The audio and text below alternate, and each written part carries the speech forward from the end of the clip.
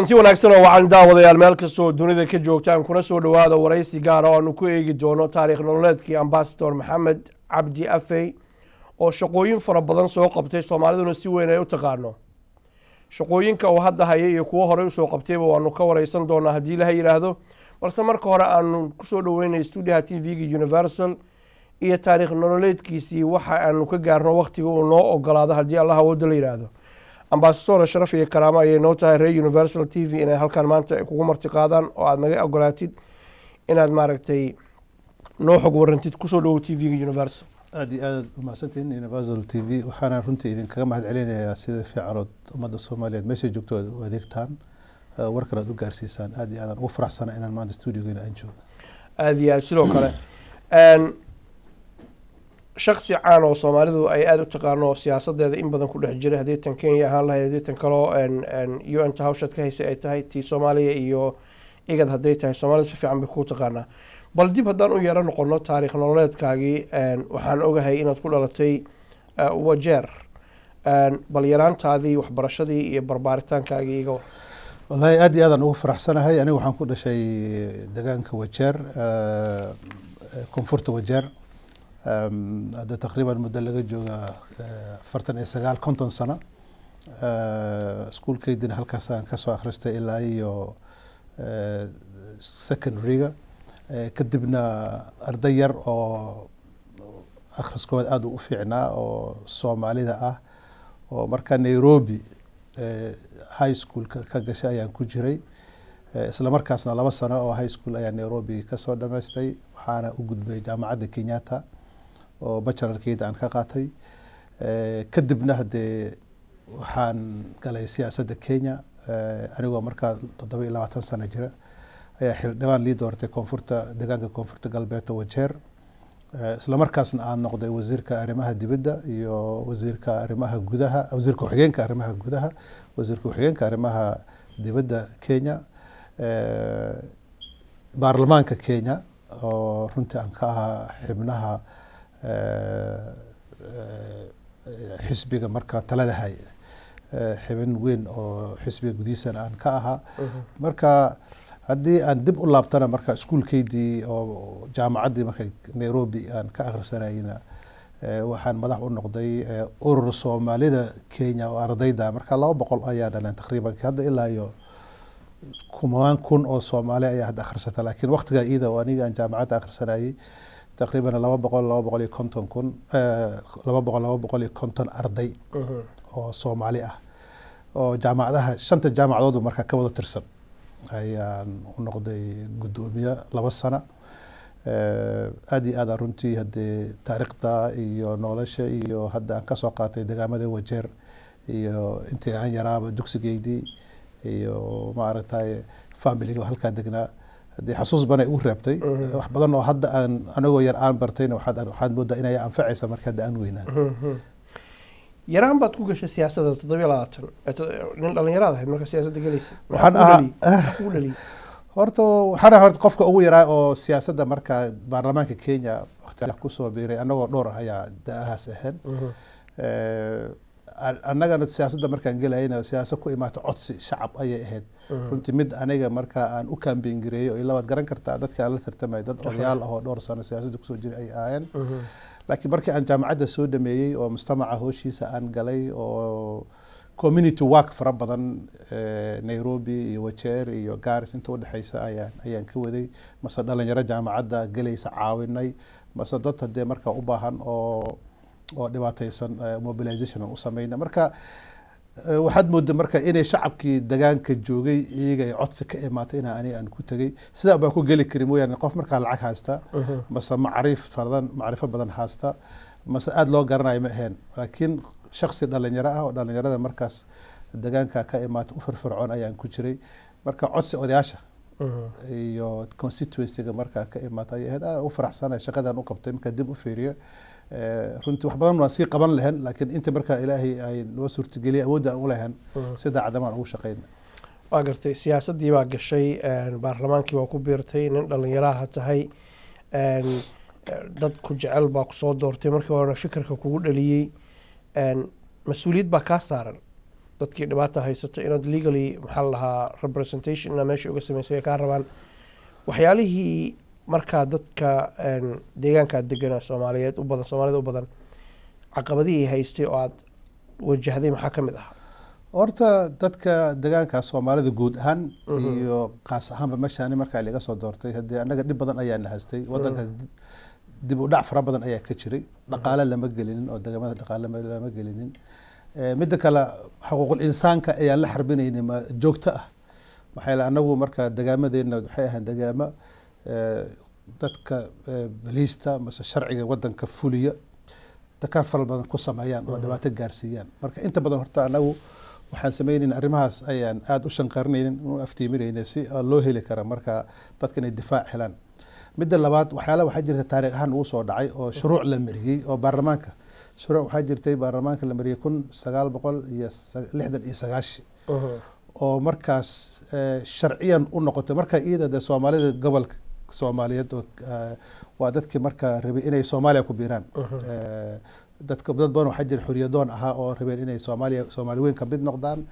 Eh, dowladda kenya iyo marka nidaamka jirayna eh, arrintaasitu mayna suurtageli karin. Marka dagaalo badan ayaa laga sameeyey. Dagaalada laga sameeyey waqtiga ciida ee dowladda kenya qaarkood waxay la tiigsanaysa dadka sharci la mariyey oo mathalan oranaya inay haddii qof qof mase haween la kufsada masana dadka la laaya oo degaamadooda lagu laaya eh, mar walba waxay u sameynayaan wax dowladda kenya iyo security kenya dan u ah marka ka soo qaad ma leh. Marka xadgudub xaddhaaf ah ayaa dhici jiray. Eh, arrinta iyada indemnity bill ayaa la yidhaha. Waxay indemnify garayna mase indemnity ay siinaysaa qofka securityga ofsaaga ah oo marka wuxuu raba geysan kara waa ina nagu dhacday hadee deegaanka wajeer oo aan ka soo jeedo eh, siddeetan iyo Xasuuq dad badan baa xasuuq lagu xasuuqay deegaanka gaara sidaa oo kale.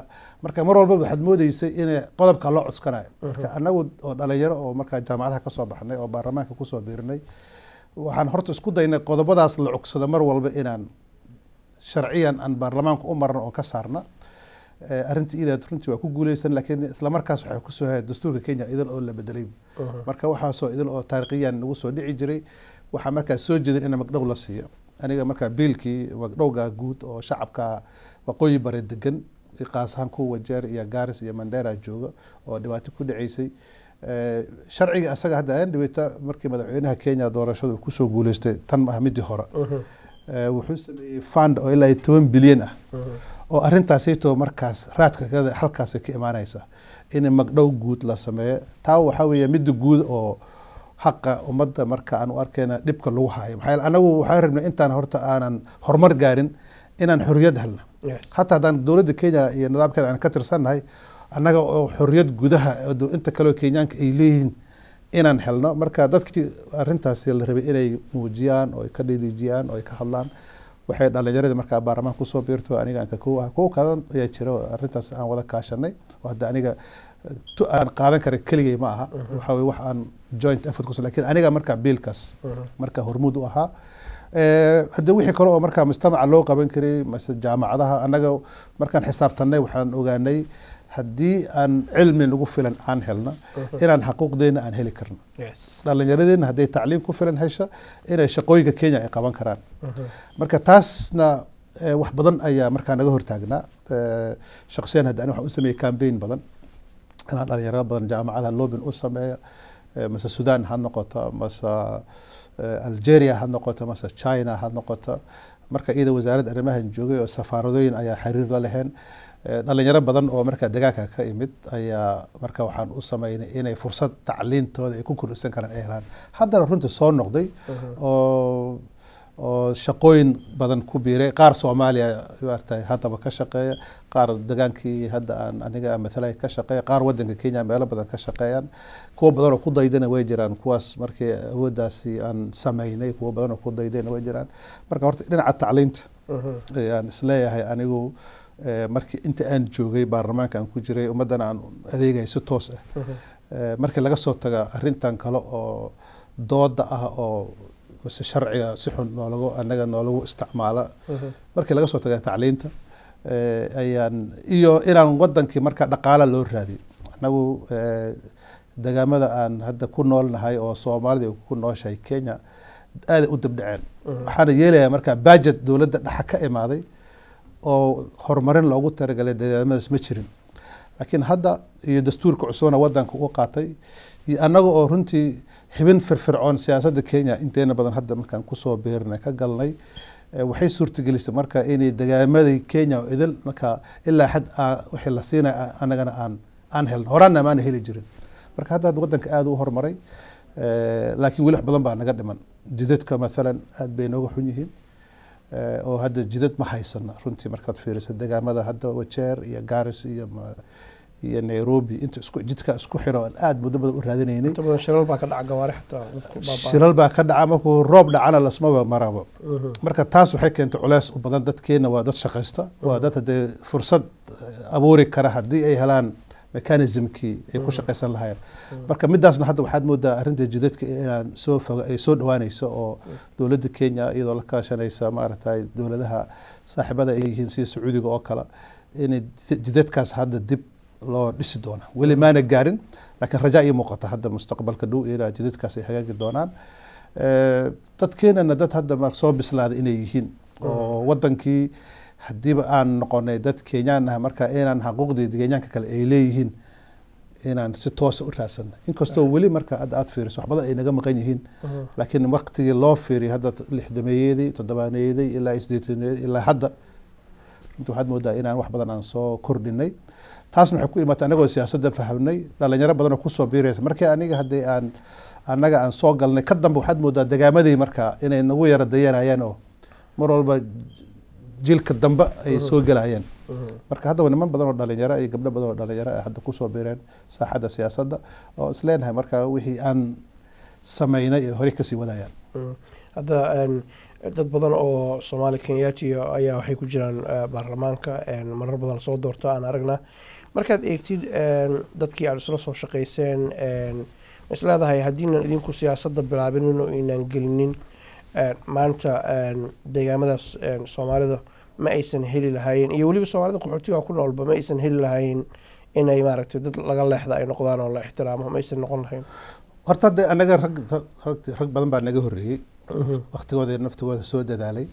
Oo oo in badan hadda ay geeriyoodeen inna weli laga yaabo inay nool yihiin. Nin walba marka dad yacni mar walba waxaan ahayn dad xuquuqdooda un survival ku jira de oo intii hadda wadanka kenya intayna haysatay maana haysanin marka kadib annagii waktigii aan ku soo biirinay hadda ani waxaa ku soo biiray nineteen ninety sevenkii inta ka dambeysay dhalinyaro badan oo soomaali ah oo weli wax baratay ayaa baarlamaanka soo gasha wakti waxaa jirtay baarlamaanka kenya laga ilaalinaya qof soomaaliya inuu hataa ka mid noqdo. Oo qofka un uu ku tegi jiray meesha masana qoyska ha kuu duceeyaan mase nin haddee shaqa shaqaha ku hela oo bal midkii qaarkood ay raadin jireen midkii ugu dhib badan oo dadka ugu buuq badan oo ugu qayli badan in laisdhaafiyo oo nairobi iyo dhulkaas baarlamaanka loo dira laakiin hadda waxaad moodaa hadde tartan culusaa jira. Hadda dadka hadda saaxadda ku soo biiraya waa dad runtii hadda aada wax u bartay. Weliba hadda maamulka baarlamaanka kenya ayaa hadda xibin culus ka nahay. Waxaa jooga majority leader oo hadda yacni la soo doortay garis asaga laga soo doortay laakiin wuxuu yahay gudoomiyaha guud oo xisbiga talada haya. Taas marka horaan annaga nama soo marin. Runtii siyaasadda levelkaas caynkaas oo kale wasiirka arrimaha dibadda hadda marka aad fiirisa aniga waxaan ahay wasiir ku-xigeenka arrimaha dibadda. Wakti int inkastoo ayna badneen qofka ugu horreeya soomaali ahood wasaaradda arrimaha dibadda tagaaba ahaa. Laakiin haddana gabar aamina ayaan dib loo mar dhexdaas la soo doortay. Oo aad iyo aad runtii shaqo badan wasaaradda u qabatay. Mana tustayba mustaabaca kenya qof soomaali ah inuu wasiirka arrimaha dibadda noqon kara waxay kenya ay soo martay qof soomaaliya oo militariga kenya uu ahaa generaalka ugu sareeya chief of general staff wuxuu ahaa general maxamuud oo waxaad marka meelihii halbowlaha siyaasadda oo nalaga ilaalin jiray ayaa hadda annaga soomaalida kenya aan qabanay waxaa waxaa maxkamadda saroo kenya supreme courtka justice maxamed ibrahim. Court of appealkana waxaa jooga justice maxamed warsame.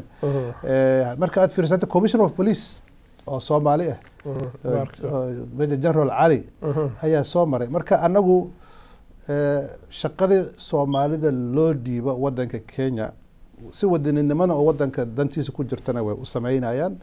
Laakiin si karaamo u keenaysa ummadana way u keenayan marka hadda ayaan dhibayto waxaa la doortay nin dhalinyaro oo director of public prosecution. Loo doortay. Waa waqti waqtiga ugu horreey weya oo qof soomaali ah oo marka uu noqdo director of public prosecution. Marka baarlamaankaa soo marnay oo deputy speaker oo baarlamaanka kenya waqti baan soo marnay. Marka waxaad moodaa dadkii soomaalida kenya inay inay fahmahayaan waajibaadkooda inay fahmi inay waxay leeyihiin inaan cid marti ugu ahayn wadanka oo wadanka xaquuqda ay ku leeyihiin ay tahay mid toos ah. Isla markaasna haddee difaac badan iyo support badan siiyey qaxootigaha soomaaliyeed oo wadanka ku soo qaxay. Maxaa yeele markay dadka hoyiga u noqday oo soo dhaweeyey waxay noqdeen dadkii soomaalida kenya ku nooleed. Isla markaasna soomaalida de madax bay leeyihiin. Madaxdaasaa markaa hogaaminaysay in dadka la soo dhaweeyo loo naxariisto. Wixii dhibaato soo gaartana runtii maaragtay tilaabo laga qaado oo dadkaas caawinaadkooda si fiican loo muujiyo. Waa gartay baarlamaankii iyo dowladdii kenya siyaasaddii kenya goormo ayaad ka go'aansatay inaad markaas ka weecatay dhinacaas horta runtii dee siyaasadda ma ogtahay weli dhalinyaraan u ahay. Inkastoo hadda dee markay dad qaarkood arkaan inaan ahay weli dhalinyaro ay moodayan inaan rabo inaan doorashadii iyo electionkii aan aan ka rajo qabo. Suurtagal weeyaan inaan ku noqdo siyaasadda iyo maxaa xisbiyaha kenya ayaa midkood ayaan ka ahaa guddoomiyaha guud. Oo hadda inta aan helay safaaradaha aan ku wareegay diblomaasiyadda aan ku wareegay ayaan ayaan ka tegey laakiin markii aan baarlamaanka ka baxay oo xibin kale ay soo bedeshay two thousand and three yaa madaxweynaha kenya markaas wuxuu ii magacaabay safiirka kenya oo soomaaliya. Markaasna waxaan ku soo hagagay intaa ka horena sanadka labada kun waxaan ka qayb galay shirkii dib heshiinta soomaalida ka dhacay jabuuti khudbadii madaxweynaha kenya uu ku lahaana anaa meesha ka akhriyey shirkaasoo aan runtii si aad aniga shaksi ahaanteyda muhiimad gooni ii lahaa waa shirka ugu horreysay oon u arkaya inay dowladnimada soomaaliya ay soo noqonayso aad baan u saboot gareeyay ka shaksi ahaan iyo ka dowlad ahaanba. Kadib markaan markaas baarlamaankan ku jira lakiin markaan soo laabtay oo two thousand and threegii aan aan aan baarlamaanka xibin kale ay bedeshay yaa madaxweynaha marka wuxuu igu yiri kenya kibaki wuxuu igu yiri waxaan rabaa inaan dib u heshiinta soomaaliya aan halka nairobi lagu sameeyo. Marka waxaan rabaa inaan ka noqoto xibin howl fududeeyayaasha special envoy mase safiirka dowladda kenya markaa u magacaawday shirki bagaadi oo markaa iyada lagu soo doortay madaxweyne cabdullaahi yuusuf oo dowladda ku-meel gaarka ahayd. Waxaan ahaa xibin xibnaha shirkaas howlwaleynta wax ka waday. Runtii shirkaasna taariikh gooni ayuu ii lahayo inkastoo ahay safiirkii dowladda kenya. Isla markaasna aniga waxaan niyeystay inaan ahay safiirkii dowladda soomaaliya. Marka laba safiir ahaanan ahay soomaalidana ilaa dowlad dowladda soomaaliya safaaradku wayna qabay nairobi.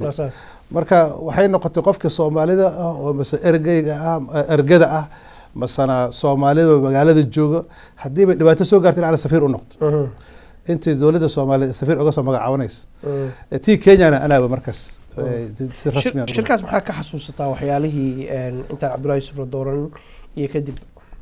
Wallah horta waxaan ka xasuustaa shirkaas. Waxaa ahayd shirkii soomaalidu khasuusan kuwa loo yaqaana warlordska dadka qoryaha haasta marka aan ku abaabuleyni inay qaran sameeyaan. Oo dowlad soomaaliya la sameeyo. Marka qofkii waxaan waxaan xasuustaa inaan tagnay intaasoo magaalo oo soomaaliya ka tirsan. Muqdisho dhowr jeer baan tagay kismaayaan tagay waxaan tagay puntland waxaan tagay baydhaba meel yidhaha waajid. Waxaan xasuustaa inaan ugu tagay shaad guduud allah u naxariista oo ka soo qaaday aniga aan diyaarad ka soo saaray ilaa iyo nairobi.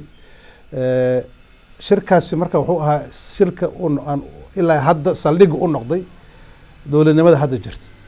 Oo kaas maalintii wixii ka bilowday inuu isbebedelayo mooyaane. Laakiin halkaasaa moodaa marka heshiiska u horeysay oo dowladnimo soomaaliyeed ay ku dhalata markii burburku u dhacay kadib. Marka aada iyo aada horta arrintaasi iyay wax badan igu dhaaftay anigu. Isla markaasna haddee dad aan markaa lahayn qorye wataana warlords waa yaa waxaa ka bedelan inay wolos noqdaan xildhibaan ay noqdaan. Marka si kaloo qoriga qofka marka u dhigi kara ma jirin. Marka waxaa weye in marka la yidhaahaa intaad qorigan haysan lahayd madaxtinimadaada ayaa lagu sharciyeynaya. Dadka aad qoriga u qaadatay oo tira waan difaacayana kolley waxay ka imaadeen qabaa'ilada soomaalidu inkastoo haddee dadka ay u arkayeen nimanka inay dhib ku hayeen. Laakiin annagana dhibka keli waxaa looga bixi lahaa marka inay abaabul inta la sameeyo oo shirkaasi marka ay ka mid noqdaan xibin firfircoonna ay ka noqdaan baarlamaankan ay ku biiraan.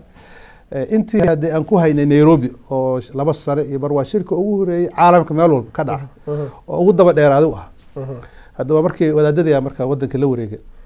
Intaan wadaadadu imaan shirkaas waxyaalihii la isku mari waayey oo inuu daba dheeraado keentay mid iyo laba maxaa ka xasuusta shirka horta midda ugu horeysa waxaa weeyaan nidaamka soomaaliya ay qaadan karta nidaamka waxaa weeya soomaalidu waxay isku khilaafeen labada nidaam ilaa haddana weliba ay khilaafka waxaan umalaya musan dhamaanin federaal miyaan qaadanaa? Masano masano waxaan noqonaa sidii dii hore. oo kale. Taas horta waxay u ahayd midda ugu cusleed oo maxaa yeele shirkaas wuxuu ahay shir dhinacna dib u aan ka rabin inuu noqdo dowladdii dhisneed oo cabdiqaasim salaad xasan oo la aqoonsanaa iyo dadkii xibnaha dowladda ka maqnaa oo markaa la oran jiray waxaa weeya walwarskii dadkii ku ku shirkooyay marka dadkii qorya haystay. Marka labadaas tiam labadaas tiam labada tiam laba philosophy iyo laba aragti ayay kale ahayd. Waqti badan horta nagu qaadatay inay iyaga meel ay ku heshiiyaan. Taas mid bay ahayd. Midda kale dastuurka meergaarka naftigiisa xibnaha baarlamaanka muxuu noqon karaa? Marbu wuxuu ahay saddex boqol iyo toddobaatan iyo shan. Markii dambe wuxuu ku soo laba boqol iyo toddobaatan iyo afar. Taasna waxay ahayd mid midda saddexaad ciidamo shisheeye ma loo baahan yahay mase looma baahna. Taasna waxay ahayd arrin dib shirka dib aada ugu dhigto cariiri badan gelisay. Marka arrimo badan ayaan ka xasuustaa laakiin haddii hadda aan aan fiiriyo waxaan is oran karaa kuwa hadda ugu muhiimsanaayo oo principalka ha la isku hay kuwaas bay ahayd kuwaasay ahayd. Shirkaas waa dhammaaday madaxweyne waxaa noqday cabdullaahi yuusuf. Xagee hawshaas ku dambeysay? Aniga marka madaxweynaha markuu noqday cabdullaahi yuusuf oo dhowr bilood baa nairobi kula shaqeynay oo anigaba marka u noqday marka si rasmiyan waxaa u noqday safiirka kenya soomaaliya. Maxaa markii la magacaabayey dowladda kumeel gaarka ah cabdiqaasimna waqtigeeda soo dhammaaday tanna markaas ma dhismin bartankaasaan joogay laakiin marka dambe horta waxaan noqday rafiis safiir rasmi aan noqday.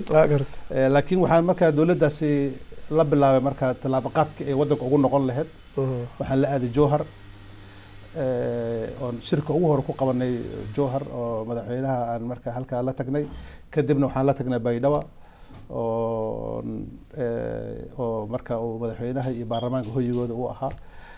Dhowr sanaa marka halkaas ilaa kun iyo laba kun iyo toddobadii yaan la joogay. Isla markaas marka laba kun iyo sideedkii waxaan soo galay baarlamaanka kenya. Dib baan ugu soo noqday baarlamaanka kenya. Xibin baan ka noqday haddana. Waa ka soo baxay siyaasaddii soomaaliya waxaan ku soo noqday baarlamaanka. Baarlamaanka waxaan ku jiray marka ilaa iyo laba kun iyo saddex iyo tobanka. Ka baarlamaanka waqtigiisa dhammaaday. Oo anigana marka aan baarlamaanka uu dhammaaday yaa dowladda cusub oo dhalatay marka. Tartan xoog lah ayaa waddan kala galay. Ani xisbigii aan ka tirsanaa marka wuxuu ahaa xisbiga madaxweynaha madaxweyne ku-xigeenka waddanka waqtigaas. Ayaan isku xisbi ahayn waana laga guuleystay. Marka banaanka yaan yaan yaan marka banaankan kasayaan aga soo baxnay dowladdii iyo diblomaasiyadda aan ku jiray. Laakiin labada kun iyo afar iyo tobanka abaabulkeedii yaa madaxweynaha kenya marka oo markaa la doortay waxaa la urur goboleedka igaad yaa waxaa la raadinayay qof noqon kara ereygiga gaarka urur goboleedka igaad qofki ninka markaa joogaya ka shaqada ka tagaya ku kenyaan ahaa oo ah wasiirkii beeraha kenya. Oo la dhihi jiray kirwa. Marka safiirka iyo wasiirka markuu shaqada ka soo dhamaatay yaa marka urur goboleedka igaad waxay raadinayaan qof markaa shaqadaasi lagu wareejiy dowladda kenya laga rabay inay soo magacawdo marka maadaama hataa aanan isku xisbi ahayn oo aan kala xisbi laakiin si wadaninimo ahaan eh iyo madaxweynaha markaa ii codsaday inaan inaan halkaa taga aad iyo aad ugu faraxsana runtii halkaasna meeshii wixii aan ogaa oo un baan meesha maan ka sii wadnuun. Annaga mar walba aniga waxaa iga go-need inay dowladnimo soomaaliyeed oy soomaalidu marka un acagaheeda ku istaagta la hela. Dhibaato badan in loo maraayo waa inoo muuqatay shaki badan inuu jirana waa inoo muuqatay soomaalida inay weli dagaal ka dhexeen waa inoo muuqatay laakiin calaa aqal waxaan leeyahay wax un hala abuuro. Mhm. anigana marka taas unbaa iga go-need inkastoo haddee dhibaato badan aan kala kulanay Mhm. oo adiga oo soomaali ah oo jinsiyadaada soomaali ay tahay oo soomaaliya lagu dira waktiga hadda ceenka oo kale ah culeys baanaad kala kulmi mar qaarkood waxaad eedi soomaalinimadaada maxaa yeelay markiiba waxaa la gelaya horta soomaali waaye ninkan ka yahay. Ah. Markuu ka yahay adigoo hataa waxaad u taagan tahay iyo fikradaada la ogaanina waaba lagu shabadeen. Waa marka shaqadaada way adkaanaysaa laakiin ani intaasoo idil anoo og oo arkaya yaa waxaan un qiyaasay wixii saxa ah oo soomaalina u roon dowladnimada wax ku soo kordhin karta ehli inaan sameeyo. Eh, alxamdulilah waxaan is leeyahay hadda ilaa xad waxbaan meel baa soo gaartay. Waxaan ahaa safiirkii urur goboleedkii igaad muddo afar sano saddex sano iyo bar ah. Waa waqtiga ugu kululeed marka siyaasada waqti stage bay soo mareysay waa kii dowlad goboleedyada ay dhismaayeen Mhm. Eh, waa markii eh, eh, dowladda ay ka baxday kumeel gaar Mhm. oo dowladda xasan sheekh xasan maxamuud. sheekh maxamuud uu ka noqday madaxweynaha. Hal- halkaas haddaan dib waxyar ku yara celiyo intaanan u soo gudbinin dowlad goboleedyada dhismooshinka shaqadii envoyga igad inaad noqotid waad aqbashay uhuru kenyatta waa ka aqbashay priorityada waxyaalaha ugu muhiimsan oo markaas inaad dardar gelisay ay rabeen een, urur goboleedka igad maxay ahayd ma horta guud ahaan waxay ahayd in dowladda soomaaliya barnaamijkeeda lagala shaqeeyo Mhm. barnaamijka barnaamij igaaba ma ahaan Mhm. barnaamijka waxaa weeye maadaama dowladdii ay ka baxday kumeel gaarka weliba aanan kaa dhexgalay waxaa iga horreysay aniga 2006 juunki Mhm. markay maxkamadaha waddanka qabsadeen Mhm. oo anigana markaa waxaa ahaa safiirka kenya Soomaaliya. Waxaa marka annaga aan soo jeedinay oo niri suurtagal maaha marka inay maxkamadaha marka waxay la wareegeen muqdisho. Mhm. shaqo badan way ka qabteen. Wadankii muddo yar ayay ku soo celiyeen dekeda la furay eeboorka la furay. Rajo badan ay abuureen. Mhm. dowladda kalena waxay joogta baydhaba. Marka dad aniga aan ku jira yaa waxaa soo jeedinay suurtagal maaha inay dowladda baydhabo fadhido. Nidaam uu ka dhisno soomaaliya. Oo marka labadaa nidaam oo haddii Iskala la kala- la kala gaarin hadda dagaali doono soomaaliyana matalaya Mhm. marka waxaan damacnay inaan dib heshisiin sameyna waxaan waxaan dowladdii aniga waxaan ku jiray waa wafdiga waxaan hogaaminaya cairo Mhm. isha sudan. Sudan 2000 and sixkii Mhm. shirki suudaan shirka sudan oo naga fashilmay Ayaan ku jiray dadka hogaaminaya oo weliba guddoomiyaan u ahaa. Eh, marka dambena aniga sheekh shariif ugu tegay xamar 2006 june agastagana waxaan ku- marti qaaday nairobi. Wafdiga ugu oro oo maxkamadaha ay ku sameeyaan ay kaga soo baxaan soomaaliya iyagoo ku shabadaysan inay yihiin argagixiso. Wafdigaasi waxaan keenay nairobi si marka wadahadal loo furo. Markii dib dambena hadde waa waxaa dagaalkia dhacay. Maxkamadihii ka soo baxeen. Eh, dowladdii eh, baydhabo joogta xamar u guurtay. Eh, markii dambe anigoo intaan baarlamaanka kenya ku jiray yaa markaa shirkii jabuuti dhacay oo sheekh shariifkii aan ugu tegay maxkamadaha isagoo madax ka ah 2006 marka dambe madaxweyne isagoo ah yaan la kulmay. Marka barnaamijka aan aniga mar walba aan samaynayna ma ahan barnaamij shakhsiyaadkayda aniga wax aan kaar aan jab kala soo baxay ma ahan.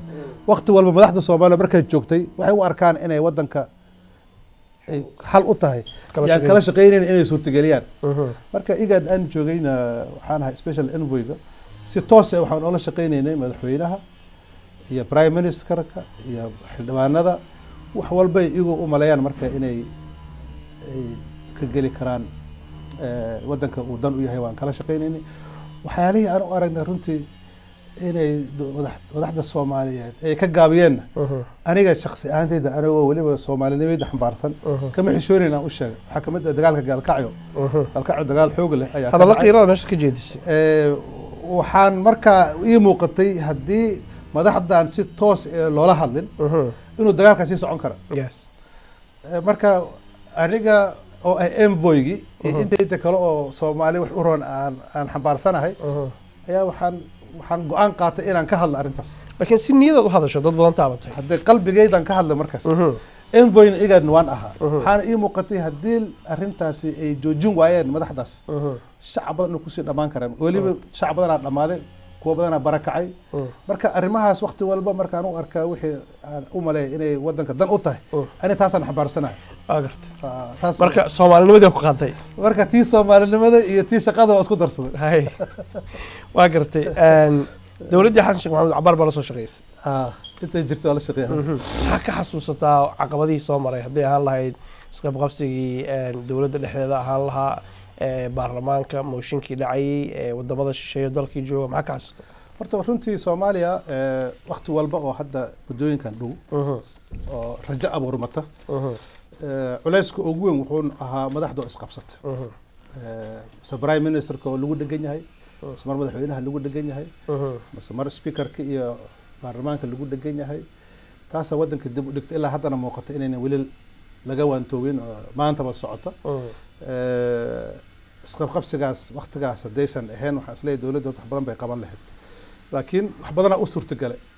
Structureka hadda ay ku dhisantahay dowladda federaalka oo ah dowladda oo federal government iyo iyo member stateska waxaa loo yaqaana dowlad goboleeyaasha dhismay.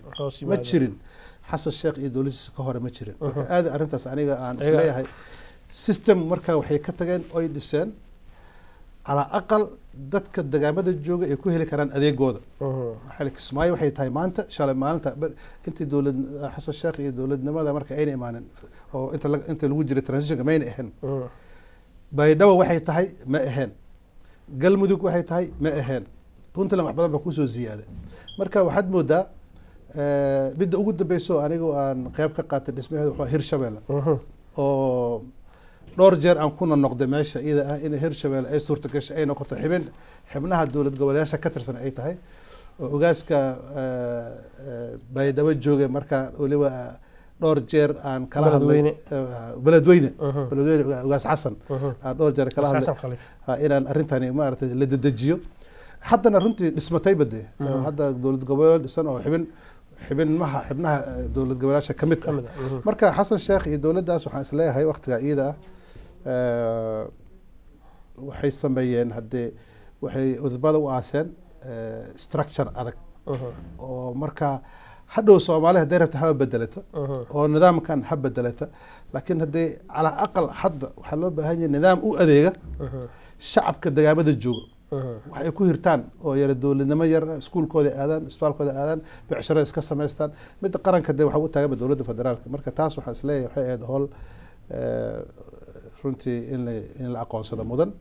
Eh, midda kale oo markii haddii annaga meesha aan joognayna inaan dowladda federaalka ka gadna beesha caalamka ay noqoto dowlad soomaaliya loo aqoonsan yahay oo beesha caalamka eh, ay ay u aragta soomaaliya miiskii soomaali ay lahayd firiisan karta.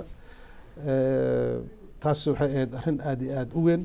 Intii ani aan joogay marka oo urur goboleedka igaad aan joogay laba shay ayaan aada iyo aada u xasuustaa oon is leeyahay waan ku guuleystay. Shirka ugu horreysay oo wasiirada arrimaha dibadda igaad ay sameeyaan. Anaa ku qalqaalay inay xamar imaadaan. Inkastoo dowladda soomaaliyeed ay jirtay. Mhm. laakiin waxaan ahaa envoyga marka arrintaasi hogaaminayay Mhm. isla markaasna dhowr bilood kadib waxaan haddana suurtagelinay inay madaxweyneyaasha ay ku shiraan xamar labaatan iyo sideed labaatan iyo sagaal sano kadib inay xamar ay martigeliso urur goboleedka igaad heer madaxweyne. Waxay arrin aada iyo aada runtii qaali u ah. Mhm. caalamka indhihiisa soo jeedisay soomaalida rajo u abuurtay caasimadii muqdisho ka dhigtay caasimadaha caalamka mid la mid ah Mhm. oo dowladaha ajanabi ay ku shiri karaan. Markii dambe waxaaba dhacdaba hadde inay united nations security council ay yimaadaan eh, inay madaxweyneyaal kale ay wadankii ku soo iyo secretary of state eh, kerry. John Kerry. Foreign minister of foreign ministerska ingiriiska madaxweynaha runtii turkey oo ani aan is leeyahay eh, aragtidayda door weyn ayuu ka qaatay. Eh, soo celinta sharafta iyo karaamadaas weliba magaalada muqdisho inuu caalamka tuso inay tahay caasimad caalamka ka tirsan madaxweynaha jabuuti Mhm. oo runtii intaasoo jeer kuna noqday muddo badanna daba taagnaa inay soomaaliya runtii hagaagta Mhm. laakiin haddee dadkaas ana levelkooda maba gaarsiinin tayda mid yar ayay ahayd. Mhm. levelkeyda ku filan. Eh, isla markaasna aan arkaya inta xafiiska aana ka tegin inaan suurtageliyo. Waa- waana ii suurta gashay in laba shiro waaweyn anagoo envoyga igad ah ee igad ku samaysata maaragta muqdisho. Gabagabadii waxaan rabaa laba su'aalood inaan ku weydiiyo. Haddaad soo koobtin waan kuu mahad celin lahaa see u aragtaa badda soomaaliya ee kenya damaacinayso iyo xaaladda beled xaawo horta aniga waxaan u arkaa arrimahaasi soomaaliya xuduud bay leedahay. Xuduudkan xuduud la dafiri kara. Mase xuduud bad ha noqdo. Mid kale. Maska mid beri ha noqdo. Xuduud la dafiri kara inayna ahayn ayaan anigu arkaa. Hadduu muran gala marka. Waxaa jira marka muranka si looga si jid looga baxaa jirta. Oo dagaal ba ahayn sharciyada caalamka. Oo sharciga caalamiga oo haddana socdaba marka aniga waxaan is leeyahay labada wadan laba wadan oo kala maaranta ma aha. Waa laba wadan oo haddana dadkii ay si dhex galeen. Waa laba wadan oo wax badan hadda ka dhexayso. Soomaalidu qaxootigeeda inta u badan wuxuu ku soo qaxay kenya. Soomaalidu becsharadeeda iyo iyo tijaarnimadeeda inta badan hadda wadanka kenya iyo difaaciisa ay ku joogaan. Oo hadda yacni dad hadda xasaasi laga qabo ma aha. Si soomaalinimo looma nacba marka laakiin waxa ku saabsan labada wadan wixii u dhexeeya aniga waxaan qabaa cid kale cid walba inay cidda kale kusoona xadgudbi karin. Oo wixii muran ka imaadana si sharciyan ah loo loo abaara ma laga yaabaa inaad madaxweyne kenya isku sharaxdid maalin maalmaha ka mid a waa suurtagal. Waa suurtagal. Kenya laakiin qabiila xukumo. Waxaa is leeyahay qabiilka soomaalida kulli da iskugu kay tagtana waxaa suurtagal inaanan levelka aanan gaarin. Laakiin rajadaas hamiga waa igu jiraa wax iga hortaagan oo sharciyan hadda ma jiraan inaan madaxweyne noqdo waana noqon karaa mustaqbalka insha allah. Damca kaaga jira siyaasadda igu jirtaa igu jirtaa inaan madaxweyne anoo soomaali aan kenya madaxweyne ka noqdo waan rabaa. Jeclaan lahaa ambasador maxamed cabdi afey aad iyo aad baan kugu mahad celinaya waa mahadsan tahay daawadayaal intaa waxaan ku soo gabagabeyneynaa annagoon marnaba cadaalad u samayn karin waktigoon hayo awgeed ambasador maxamed cabdi afey taarikh nololeedkiisii shaqooyinku soo qabtay siyaasaduhu ka soo shaqeeyey iyo taariikhdii soomaaliya intuu joogay ururka urur goboleedka igad intuu joogay iyo markuu ambasador kenya soomaaliya fadhiya ahaa iyo ilaa haatan aanu ku wareysanaynay waxaana jeclahay mid dad fara badan oo soomaaliya ay wax ka bartaan ay wax ka ogaadaan inuu noqdo. Mar labaad iyo mar saddexaad ambasadorka u mahad celinaynaa farsamada caawa waxaa halkan ila jooga. Cabdixakiim fiqi barnaamijkan waxaa idiin soo saaray cabdalla mudhir. Waxaan u mahad celinayaa sidoo kale maxamed xaaji cagmadhige iyo xamduuni anigoo cabdixafiid maxamuud jaamac ayaa idinla socodsiinaya intaanu kanoo kale dib ugu kulmi doono guul iyo gobonnimo